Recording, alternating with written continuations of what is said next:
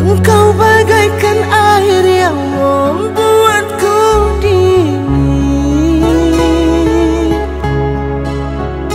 Dikala aku marah Dikala